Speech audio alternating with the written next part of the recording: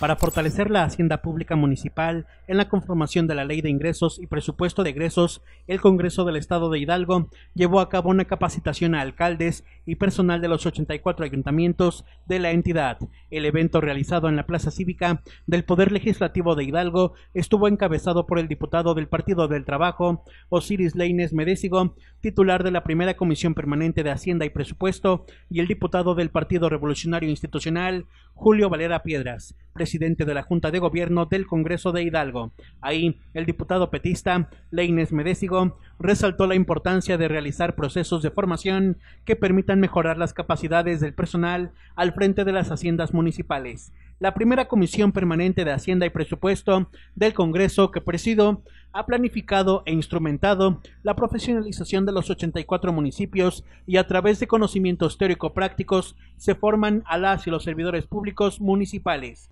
indicó el legislador. Al evento acudió la diputada federal por el Distrito 6, con cabecera en Tulancingo, María Isabel Alfaro Morales, quien mencionó que esta capacitación es estratégica a favor de las finanzas públicas municipales. Hoy, aquí en este evento demostramos que sí se puede coordinar los tres ámbitos de gobierno, dialogar y trabajar juntos con el propósito de que nuestra gente viva dignamente en cada rincón de nuestro estado, afirmó. En su intervención, el presidente de la Junta de Gobierno del Congreso del Estado de Hidalgo, diputado Julio Valera Piedras, destacó que el correcto funcionamiento de la administración pública está sin duda ligado por una correcta planeación de la hacienda municipal en materia de ingreso y gasto, por tanto, es indispensable que los funcionarios que atienden esta tarea se mantengan permanentemente actualizados en estas dos áreas. Convocó a los asistentes a seguir este tipo de ejercicios que profesionalizan y dan valor al servidor público. Estoy convencido que será esta capacitación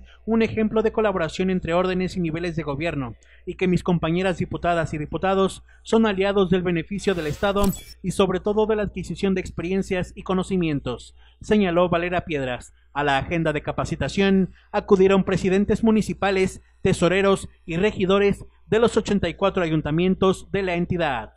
Oscar Recendis para Mezquital al Día.